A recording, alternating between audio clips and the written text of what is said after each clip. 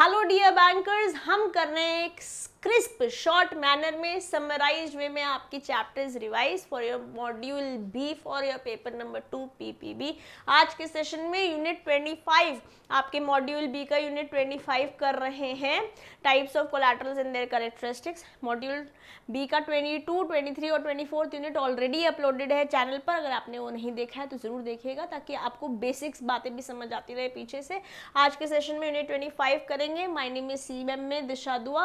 And let's get going without any further ado पहले ये समझते हैं कि कोई बैंक किसी इंसान को, किसी इंडिविजुअल को जब लोन देता है तो कुछ सिक्योरिटी रखना चाहता है। वैसे लोन अनसिक्योर्ड भी होते हैं, जिनके बारे में अभी हम थोड़ी देर में बात करेंगे। बट जब लोन ग्रांट होता है, कुछ सिक्योरिटी रखी जाती है तो उस गुड में क्या होना चाहिए? ये गुड कैसे कंसिडर करता है बैंक की सही गुड है ये? जो गुड बोल रहे हैं, गुड का मतलब अच्छा वाला गुड नहीं मतलब गुड का मतलब तो हम स्टॉक के बारे में बात कर रहे हैं, हम किसी सामान के बारे में बात कर रहे हैं। तो क्या क्या चीज़ें उसके, उस गुड के अंदर होनी चाहिए, उस सामान के अंदर होनी चाहिए जो सिक्योरिटी जैसे रखने को बैंक रेडी हो गया है in return of the money मतलब अगर आपने हमारे पैसे जो हमसे लिए हैं मतलब बैंक के पैसे जो लिए हैं, वो वापस नहीं करते हैं तो इस सामान को बेच के अपने पैसे रिकवर करे जा सकते हैं तो उस सामान में क्या क्या बातें होनी चाहिए? आइए देखते हैं। बोरोर का गुड टाइटल होना चाहिए मतलब जो सामान मैं रख रही हूँ मतलब मान लेते हैं मैं एक घड़ी रख रही हूँ, आपके पास गिरवी पैसे रखने के लिए, पैसे लेने के लिए, लोन लेने के लिए तो ये गुड जो मैं रख रही हूँ। ऑफकोर्स इसका टाइटल इसकी ओनरशिप मेरे पास होनी चाहिए, ये इसकी पोजेशन एटलीस्ट मेरे पास होनी चाहिए in case of lease happening let's say for example है ना? जो जो वो इमूवल प्रॉपर्टी की कैटेगरी में चली जाएगी। बट मूवेबल इमूवल दोनों की प्रॉपर्टीज़ पे आप सामान गिरवी रख के पैसे ले सकते हैं, है ना? तो इसका टाइटल ओनरशिप मेरे पास होना चाहिए। ये ना हो चोरी चकारी का माल मैं आपके पास रखूँ और चलती बनूं, क्योंकि प्रॉपर्टी मेरी थी, पैसे मैंने लिए। अब तुम जानो, तुम्हारा काम जाने, है ना? ऐसा नहीं होना चाहिए। असेट जो है वो ईजिली आइडेंटिफाइबल होना चाहिए।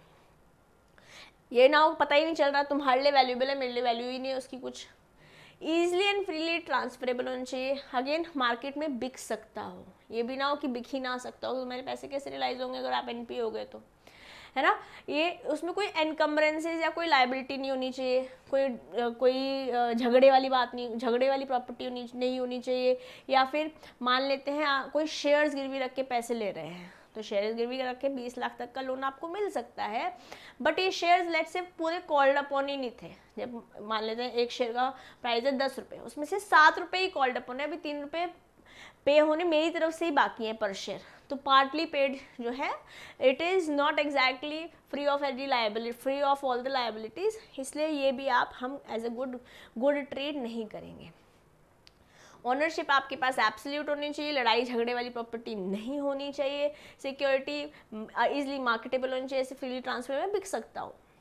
असेट जो है वो बहुत ज़्यादा फ्लक्चुएट ना करता हो, कभी तो दस रुपये चल रहा है, कभी कई पाँच हज़ार रुपये पहुँच चुका है, ऐसा भी नहीं होना चाहिए, है ना? मार्केट वैल्यू जो है वो ईजिली असर्टेनेबल हो मार्केट में जाए तो उसका दम, दाम ईजिली लगा पाए, जैसे गोल्ड है है ना? इसको सामान को पॉसिबल हो रखना, एक सिक्योर्ड मैनर में अगर प्लेज भी करते हैं, अपने पास रखते हैं तो उसको ढंग से रखा जाए ये पता चल रहा है उसकी मेंटेनेंस में आपका इतना कॉस्टिंग हो रही है।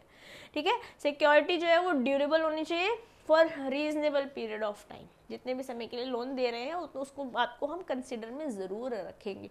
कंसिड्रेशन में ज़रूर रखेंगे। ये सारी बातें अगर होती हैं तो बैंक सोच सकता है कि इस सिक्योर सिक्योर्ड एसेट पे आपको लोन दे दे।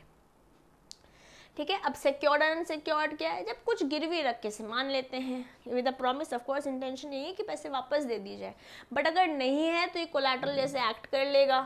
एंड आपके अगर आप पैसे नहीं देते हो डिफ़ॉल्ट कर देते हो जिसने लोन लिया है तो हम ये पैसे प्रॉपर्टी को बेच के पैसे ले लेंगे।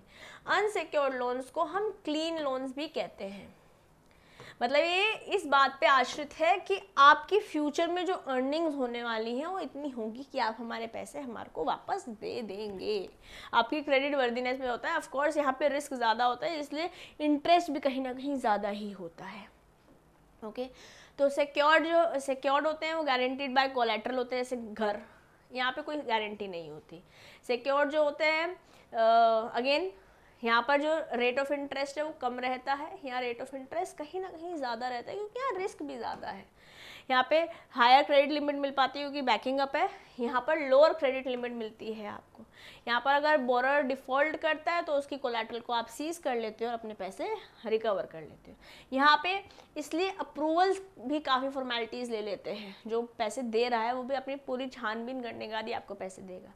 यहाँ पे होम होम का मॉर्गेज कार की हाइपोथिकेशन एग्जाम्पल्स हैं सिक्योर्ड के, और अनसिक्योर्ड का क्रेडिट कार्ड जैसे एग्जाम्पल्स हैं हमारे पास, दोस्तों।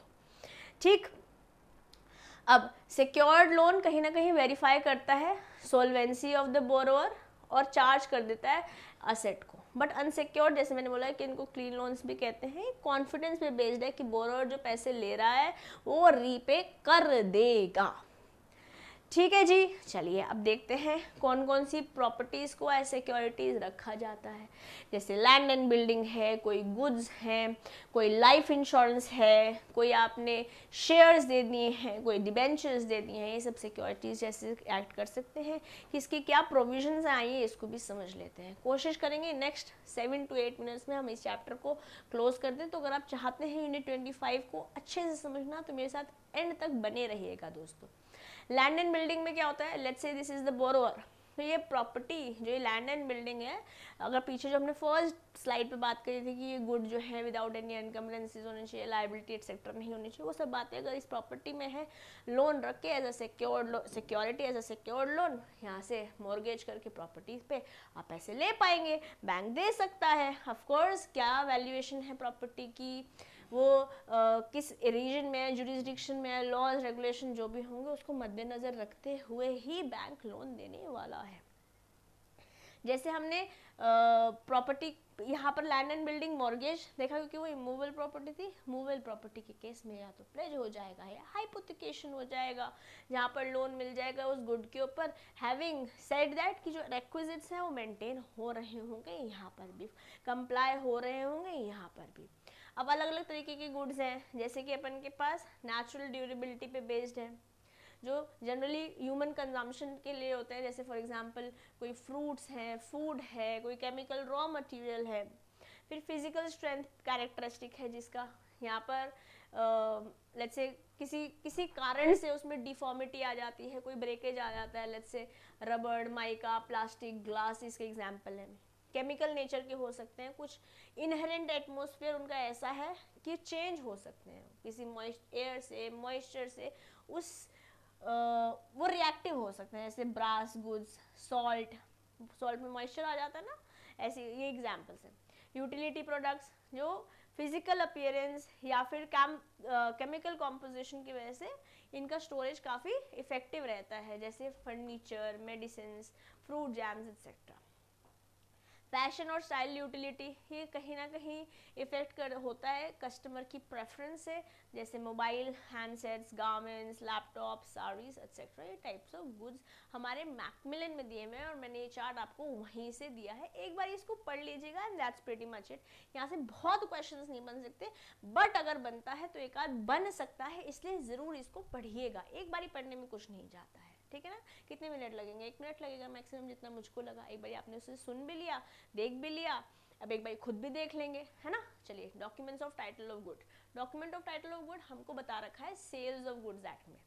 किसमें सोगा में बताया हुआ है और यहाँ से बन जाता है एग्ज़ाम में question sales of goods act 1930 के अंदर document of title of good बता रखा है कि mere possession of the document कहीं ना कहीं आपके पास राइट right क्रिएट कर देता है, या तो लॉ के द्वारा, या ट्रेड के द्वारा, या यूज़ के द्वारा, कि आप उस प्रॉपर्टी का डॉक्यूमेंट, जो टाइटल है, वो with the document with the proof hold करते हो।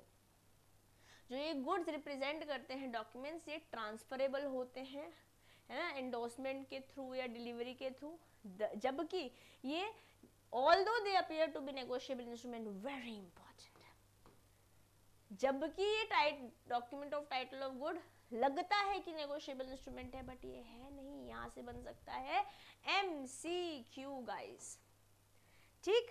फिर बात करते हैं एक एग्ज़ाम्पल की। इस एग्ज़ाम्पल को एक, एक बार आप रीड करिएगा मैं जिसमें बता देती हूँ। जैसे फॉर एग्ज़ाम्पल कोई बिल ऑफ़ लेडिंग है है ना? कोई डॉक वारंट है कोई वेयर हाउस कीपर का सर्टिफिकेट है। कोई रेलवे रिसीट है, ये कहीं ना कहीं एक एक्नॉलेजमेंट है कि ये प्रॉपर्टी मेरी है जैसे कोई सामान रास्ते में जा रहा है, उस रेल, उस, वो रेलवे में जा रहा है और उसकी रिसीट मेरे पास है। अभी जबकि सामान बैंक के पोजेशन में नहीं है बट अगर मैंने रिसीट एंडोर्स कर दी तो इसको प्लेज जैसा मान लिया जाएगा। ठीक है? और इस इस रिसीट को ये इनफ ऑफ़ अ प्रूफ है कि ये डॉक्यूमेंट ऑफ़ टाइटली प्रोडक्ट मेरा ही है और उस पर भी लोन मिल सकता है। ओके फिर एडवांसेस अगेंस्ट लाइफ इंश्योरेंस जैसे इसको हम इसको हम बोलते हैं असाइनमेंट इस पूरे प्रोसेस को बोलते हैं हम असाइनमेंट आने वाली कुछ क्लासेस में इसके बारे में डिटेल में भी बात करेंगे बट एक बार ओवरव्यू देख लेते हैं। असाइनमेंट ऑफ़ लाइफ इंश्योरेंस मतलब लाइफ इंश्योरेंस के अगेंस्ट आप लोन मिल रहा है। मान लेते हैं इंसान गया बैंक के पास कि मुझे लोन चाहिए। बैंक ने कहा, ऐसा तो मैं लोन नहीं दूँगा, मुझे तो कोई सिक्योरिटी चाहिए। फॉर दैट पर्पज़ इस इस पर्सन ने अपना LIC का जो इंश्योरेंस था, वो इनको असाइन कर दिया। इस केस में ये बन गया असाइनर ये बन गया असाइनी और यहाँ से हो गया जो प्रीमियम हो रहा था, यहाँ पर जा रहा था। अगर जस्ट इन केस डिफ़ॉल्ट करते हैं तो इंश्योरेंस कंपनी इन्हीं को पैसे देगी। यहाँ पर लोन ग्रांट हो जाता है of course by creating a security जो ये लाइफ इंश्योरेंस पॉलिसी है। ठीक है? इसके थ्रू भी एडवांसेज हो जाते हैं। फिर शेयर्स रख के गिरवी भी आप लोन ले सकते हैं, है ना? चाहे वो इक्विटी हो, चाहे वो प्रेफरेंस हो, चाहे वो लिस्टेड हो, चाहे वो अनलिस्टेड हो। ऑफ़ कोर्स क्योंकि अनलिस्टेड कंपनीज़ के शेयर के पास रेडी मार्केट नहीं होती है तो बैंक इसको इतना ज़्यादा प्रेफर नहीं करता है। हमने पीछे देखा था कि मार्केटेबिलिटी होनी चाहिए ट्रांसफरेबिलिटी होनी चाहिए। कहीं ना कहीं प्राइवेट कंपनीज़ की शेयर्स में भी रिस्ट्रिक्शंस होते हैं तो बैंक उसको भी बहुत ज़्यादा कंसिडर नहीं करता है। बैंक्स प्रोवाइड करते हैं डिमांड लोन या ओवरड्राफ्ट ऑन इक्विटी और यहाँ पर मैक्सिमम 20 लाख तक का लोन मिल सकता है। ठीक है, ये बात भी अपन याद रखेंगे। आने वाली किसी यूनिट में इसके बारे में डिटेल में बात भी हो रखी है। ठीक है? जो नेचर ऑफ़ चार्ज क्रिएट होता है, वो एक तरीके से प्लेज बोल रहे हैं, जब हम शेयर्स जा रहे हैं डिमेटरलाइज फॉर्म में होंगे। ऑफकोर्स फुल्ली पेड होंगे। पार्शियल पेड के बारे में तो हमने फ़र्स्ट स्लाइड में ही बात कर ली थी। कोई भी लोन शेयर्स के अगेंस्ट किसी प्राइवेट लिमिटेड कंपनी में नहीं मिलता, क्योंकि यहाँ पे एग्जिट रूट नहीं है। बहुत ताम झाम है प्राइवेट कंपनी में। ठीक है? बैंक्स अपग्रेड कर सकते हैं अमाउंट जो दे रखा है। अगर कार्ड लिमिट रेगुलर बेसिस पे अपग्रेड हो रही है और स्टैचुएटरी लिमिट जो है कंपनी की, वो भी मद्देनज़र रखनी पड़ेगी जब शेयर्स गिरवी रखकर पैसे दिए जा रहे हैं तो।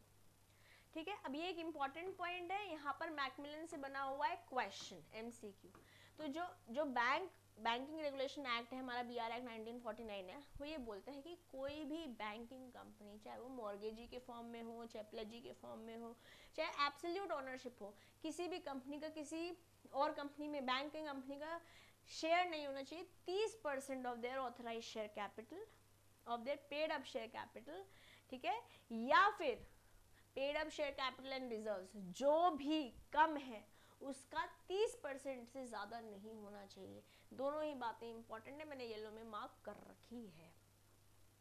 Okay okay? और जो एग्रीगेट एक्सपोजर रहता है कंसोलिडेटेड बैंक्स का, मान लेते हैं एक बैंक से ज़्यादा लोग दे रहे हैं पैसे इस शेयर पे तो वो 40 percent of the net worth of the previous year से ज़्यादा नहीं होना चाहिए। जब मैं थर्टी फ़र्स्ट मार्च को खड़ी हूँ पीछे वाले साल में। तो ओवरऑल सीलिंग कितनी दे रखी है? 20 परसेंट ऑफ़ इट्स नेटवर्थ उससे ज़्यादा नहीं हो सकती है। ठीक है? ट्वेंटी परसेंट से ज़्यादा नहीं हो सकती है, जितना भी नेटवर्थ है उस शेयर का। उससे ज़्यादा एडवांस नहीं मिलेगा। This was about advances against shares ऐसे ही एडवांसेज इंडिविजुअल्स को अगर आईपीओ के लिए सब्सक्राइब करना चाहते हैं तो वहाँ पर क्या होता है कि 10 लाख से ज़्यादा नहीं हो सकता है। 50 परसेंट का मार्जिन यहाँ पे मेंटेन करना पड़ता है। आईपीओ जब पहली पहली बार इनिशियल पब्लिक ऑफरिंग कंपनी पहली बार दे रही है शेयर है? हाँ? फिर तो मार्केट में चलते रहेंगे इधर उधर इधर उधर रहेंगे कोई बेच रहा है कोई खरीद रहा है वो सेकेंडरी मार्केट में पहुँच जाएँगे। क्रेडिट जो है कॉरपोरेट्स uh, को नहीं मिलता यहाँ पर। मतलब कोई कंपनी दूसरी कंपनी जब शेयर खरीदना चाहती है नो आईपीओ खरीदना चाहती है, यहाँ पर पैसे नहीं मिलेंगे। ये एन को भी नहीं मिलता है। ये भी एक इंपॉर्टेंट पॉइंट है, यहाँ से भी एग्ज़ाम में क्वेश्चन बनता है। मतलब मान लेते हैं बैंक को लेंडिंग बेसिकली इस पर भी यूनिट बनी हुई है। हमारी आई थिंक थर्टी एंड में कहीं पे यूनिट है। थर्टी सेवन थर्टी एट ऐसे करके यूनिट है। वहाँ पर बेसिकली ऐसे हो रहा है कि बैंक जो है एनबीएफसी को लोन देता है, आगे लोन देने के लिए। तो अगर एनबीएफसी आगे किसी और को लोन दे रही है आईपीओ पर्पज़ के लिए तो बैंक यहाँ पर लोन नहीं ग्रांट करेगा। इस पॉइंट का मतलब ये है। बैंक जो है असिस्ट करता है अपने एम्प्लॉयज़ को to buy shares let's say for example shop है। जो ई शॉप मिलते हैं अपन को स्वेट इक्विटी वाले, ना ninety percent of the purchase price या फिर twenty lakh whichever is lower ये बीस लाख के बारे में मैंने थोड़ी देर पहले आपको बात करी। ये रहते हैं आपके सब्सक्रिप्शन टू आईपीओ की स्टोरी इसको एक बार ज़रूर पढ़िएगा, यहाँ से मुझे गट फीलिंग एग्ज़ाम में क्वेश्चन बन सकता है। जैसे हमने शेयर्स देखे थे, वैसे हम डिवेंचर्स के अगेंस्ट भी लोन ले सकते हैं, है ना? डिवेंचर एक तरीके का लोन ही है जो किसी इंडिविजुअल ने कंपनी को दे रखा है। पैसे मिलेंगे वापस अगर रिडीमेबल है तो। परसेंटेज फिक्स रहेगा इंटरेस्ट का, जैसे लोन में होता है, वैसे यहाँ पर रहने वाला है। तो ये हम डिवेंचर्स को मॉर्गेज कर सकते हैं और चार्ज क्रिएट कर सकते हैं और बैंक पैसे दे सकता है इस बात पे ऐसे सिक्योर्ड असेट रख के। फिर टर्म डिपॉजिट के अगेंस्ट मान लेते हैं, मेरा ही आपके बैंक में एफडी है, उसके अगेंस्ट मुझे लोन मिल सकता है। Yes yes? और आपके लिए तो सेफ़ है जस्ट इन केस मैंने डिफ़ॉल्ट किया, आप एफडी से रिलाइज कर लोगे पैसे। और ये सारी बातें यहाँ पर लिखी हुई हैं। ये सब लोग ले सकते हैं, चाहे वो रेजिडेंट ऑफ़ इंडिया हो फैमिली ट्रस्ट हो एच हो क्लब सोसाइटीज़ हो सोल प्रोप्राइटर्स हो। यहाँ से थोड़ा सा ट्रिकी क्वेश्चन बोल बना देंगे कि ये लोग तो अलाउड है बट ये अलाउड नहीं है। ये भी अलाउड है गाइस आप टर्म डिपॉजिट अपने एफ़ के अगेंस्ट टर्म डिपॉजिट्स के अगेंस्ट ले सकते हैं। ठीक है? जो लोन अमाउंट है ऑफकोर्स बहुत सारी चीज़ों पे डिपेंड करेगा। जैसे आपका, अगर आपको कोई पर्सनल लोन लेना है तो आपका क्रेडिट स्कोर कितना है, आप कितने पैसे कमाते हैं, कितने समय के लिए आप पैसे लेना चाहते हैं। है ना? तो जो केस एफ़ के अगेंस्ट होता है, वो डिपेंड करेगा कि आपने कितने की एफडी बना रखी है। उसके अगेंस्ट ही तो आपको पैसे मिलेंगे ना? एज अ बैंक ये बात सोच के ही देगा ना आपको पैसे। इसका मतलब है, अगर आपने इन्वेस्ट कर रखा है हायर अमाउंट अपने एफडी में तो आप ज़्यादा लोन लेने के लिए एलिजिबल है। एक सिंपल बात है बट अगेन इंपॉर्टेंट बात है। ठीक? चलिए आगे बढ़ते हैं। अब देखते हैं क्या गोल्ड ऑर्नामेंट्स के अगेंस्ट भी लोन मिल सकता है? हाँ जी 75 परसेंट इसका एलटीवी रहता है कि जो प्रॉपर्टी है उसका 25 सॉरी पिचहत्तर परसेंट से ज़्यादा का आपको लोन नहीं मिल सकता है। प्लेज के फॉर्म में पैसे मिलते हैं। अब यहाँ पर जो जो गोल्ड है it has to be in form of jewellery loan जो है वो सिर्फ़ ज्वेलरी पे मिलता है प्योर गोल्ड पे रो बुलिन गोल्ड पे नहीं मिलता है।